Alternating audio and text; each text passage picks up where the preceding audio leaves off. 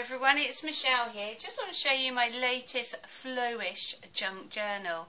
It's still based on an Alice theme. We've got Alice through the looking glass as the main image on here and a few bits and pieces left over from my Somerset studio that I cut up. I've got a nice section of eyelash trim that I've got wrapped around this envelope which I've just covered with a magazine page which I just used a plastic stencil to achieve this particular style front and on the back here. I then, after using the stencil, putting a bit of gesso on, I just done a nice colour wash over the top.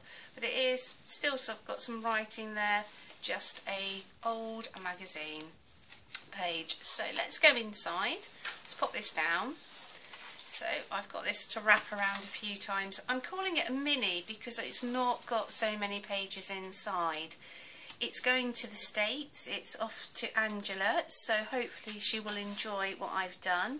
I've done a bit of collaging over the front and I've carried on more collage pockets here just bits and pieces from the Somerset Studios with Alice so I've taken some of the pages and just fussy cut round. We've got this lovely piece of calligraphy here. I've also enclosed a postcard which I brought whilst in Oxford, so a nice Alice theme going on there. Collaged again with some of the images from Somerset Studios and we've got a magazine page here all about Alice. We've got an actual card that can be pulled out with the Mad Hatter's Tea Party. We've got a little flyer from the coffee shop that I stopped in. We have a nice napkin that I hope she can use later on. Some home now to a my local, we have a local theatre. They done, last year was the Queen's 90th, so I've enclosed just a flyer there for her birthday picnic. We have here, just on this little paper clip, another little Alice collage which has come out of the magazine. We have a flyer here from the Oxford Music Theatre. We have a little bit of stamping, a little bit of my rubbish, my piece of junk here that would be thrown in the bin from my printer cartridge. Another image cut out with an Alice theme and put on a paper clip here we all, well I like handbags, so I've just got these little sections of a handbag here. Here is one of my trashy envelopes that I've just turned inside out. And by doing so you've got this um, nice pattern which I've collaged over the top. Excuse me. Using a tea bag sachet I've got some die cuts that I've cut round here Yet again, just bits and pieces of scrap paper, flyers, just making the most of it. I'm not going to tuck that in right now. We have a postcard. I do like visiting fashion houses. So this postcard's been with me for a while, but it would have been collected from the University of East London. So just little bits and pieces that can be picked up and obtained for free. We've got this lovely image from here. This came from Daphne's diary. The intention is that hopefully Angela will cut this out and use it again. An old magazine of black and white pictures from the Victorian era with a little card from Oxford a craft magazine. I've done some mixed media. I've just stenciled over the top with a gesso and this is just a lovely pottery vase. Yet again Angela can do with it as she wishes. We've got a Alice themed napkin here and this is from Alice in Winterland. So she's holding some holly here so and some berries. I know that we are coming in to the summer season but I still think it's pretty appropriate to keep hold of these Alice theme items. Now this is the centre I haven't yet wrapped. I'm going to put some eyelash trim down the centre and that will hold this little signature together. Inside here we've just got some tags, which I'm doing a great disservice by not being able to pull them out, which is most annoying.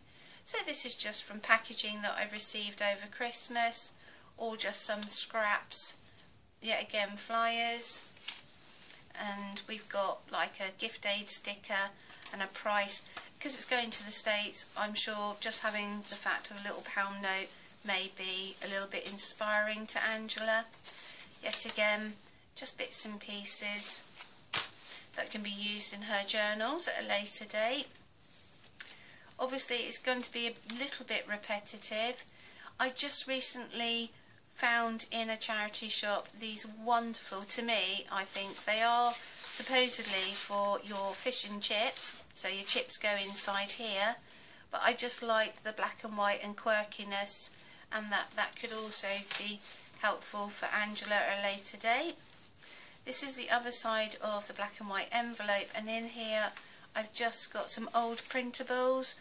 I'm not currently going to be using them very soon so I thought let's gift them on. Hopefully Angela can do something with these.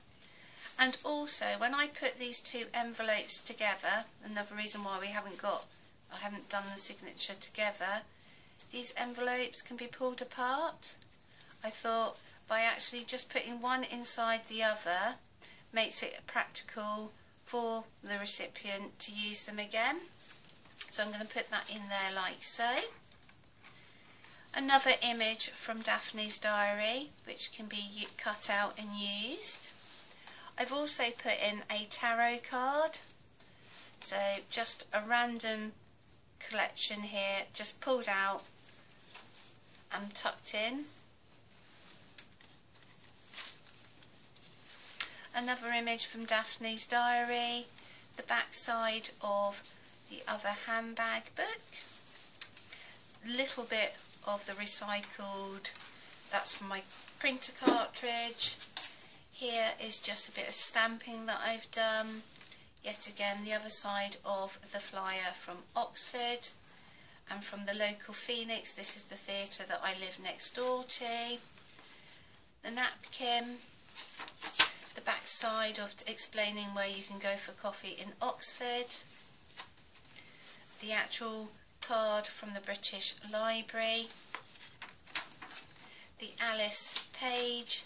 And then in the back we've just got another one of the calligraphy bits and pieces from the pigs from Alice in the Looking Glass.